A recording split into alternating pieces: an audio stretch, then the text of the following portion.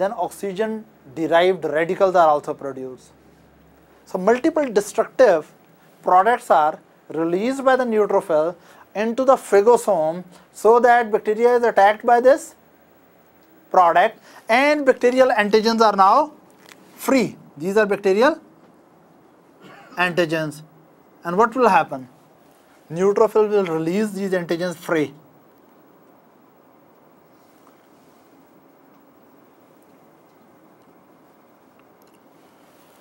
Is that right? So suppose this was the neutrophil, it was fighting, taking up the bacteria and it was digesting the bacteria into multiple small pieces and bacterial antigens are released.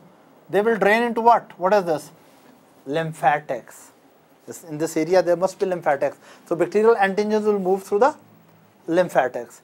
And somewhere down they will drain into lymph node where there are which cells?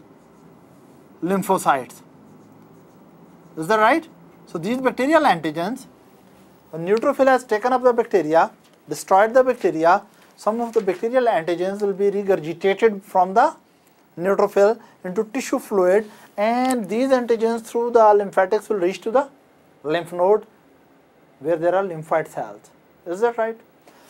But macrophage will deal with the bacteria in a different way.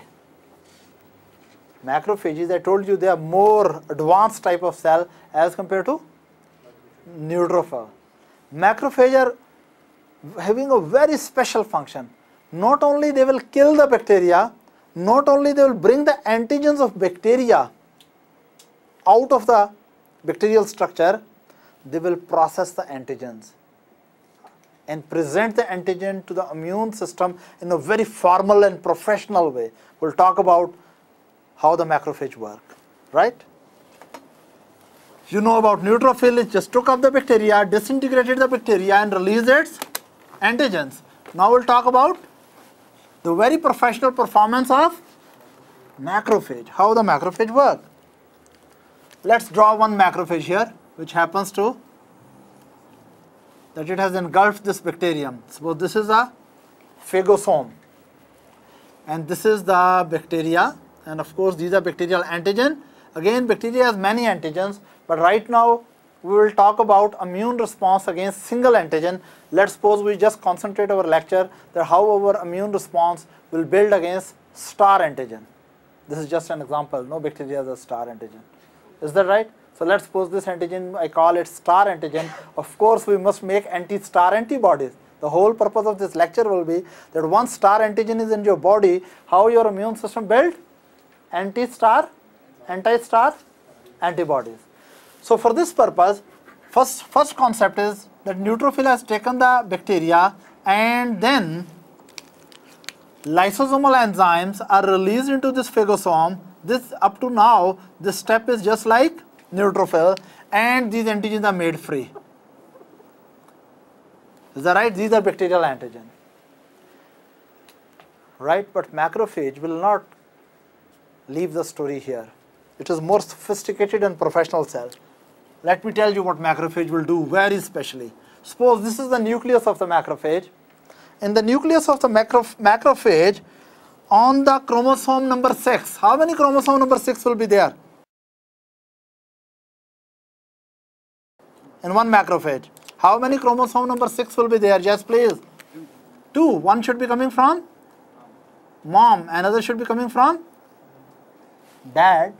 I'm sure right? There's maternal chromosome and paternal chromosome. Right now we are going into molecular level.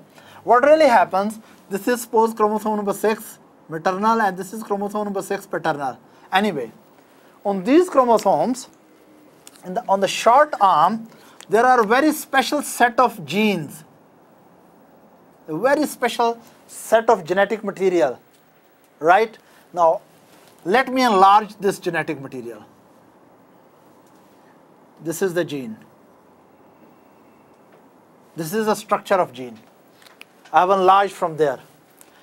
This is a very strange type of genetic material that the genetic material which is at the top, all the time it keep on shuffling. It keep on shuffling, it keep on varying, but genetic material at the bottom remain stable. It is just like that. You have lot of cards to play and in the bundle of cards, upper cards you keep on shuffling and lower cards you never change. It's like that. So probably these genes are playing cards over there in chromosome number 6. That this specific set of genes, upper genes are constantly shuffling and lower genes are, lower genetic material is stable. Now, if from this genetic material you make messenger RNA, of course from DNA you make RNA, right? If you take messenger RNA, this part of messenger RNA will vary from molecule to molecule. Listen, this is first molecule of messenger RNA we make from this genetic material. Now in this messenger RNA, this part will be the same, but this part will vary from molecule to molecule in different messenger RNA. Let's suppose that this genetic material shuffles three times in a given time. And if it is shuffle this genetic material three times, if you make messenger RNA, then first messenger RNA may be like this, second messenger RNA may be like this, third messenger RNA may be like this. Now all of them are having constant portion similar, but these portions are different from uh, messenger RNA molecule to messenger RNA molecule. Are you understanding it? When they will be translating into proteins. You know, messenger RNA is translated into proteins. When they will make peptide chain, this was DNA. This is messenger RNA. From this messenger RNA, when we will make the protein, now these protein molecule from here which is derived, it may be like this. Protein molecule which is coming from here, it may be like this. Protein molecule which is derived from here, it may be like this. So what we really see that this genetic material is leading to formation of messenger RNA which translate into peptide chains and these peptide chains have constant tails but variable heads. Is that clear? Now you may be thinking why I'm putting so much stress on it. There is a reason for that.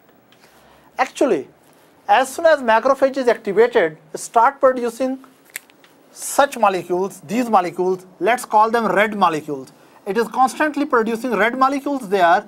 This is one red molecule, this is the second red molecule, this is the third red molecule, and so on and so forth. It is producing thousands of the red molecules. Now what is the function of these red molecules? Actually, these red molecules will be transported to this area. And every molecule will try to fit the antigen in its pocket. Sooner or later, by random chance some red molecule will come over here which is able to bind with this specific antigen. Again listen carefully. It means macrophage through the special genetic operators in the chromosome number 6 they are producing special type of molecules and these molecules are having uh, variable area from molecule to molecule and these molecules go and they are trying to fit with the antigen. Sooner or later, at least one red molecule will be generated just by chance which could stick with this antigen. And once the red molecule stick with this antigen, let's suppose this is the antigen, star antigen, and this is the red molecule. As soon as this red molecule fits into there, antigen will be considered a precious antigen. It will not be further destroyed